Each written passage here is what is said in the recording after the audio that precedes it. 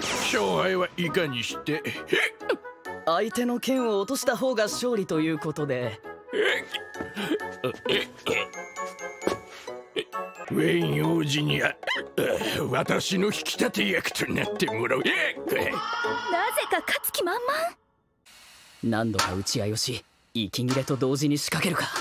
奴の剣を叩き落としたと同時に俺も剣を手放せば引き分けに持ち込める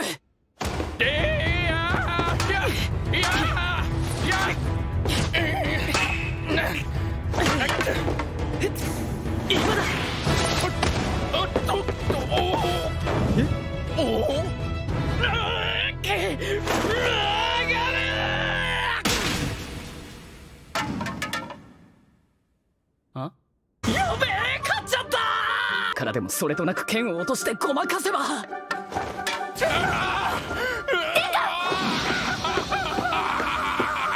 まずい。このままではゲラルトが乾杯したにもかかわらず不意打ちをする卑怯者になってしまう。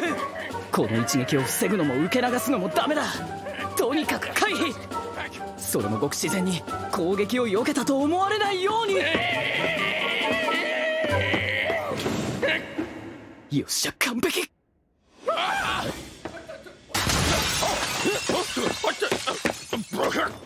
Huck!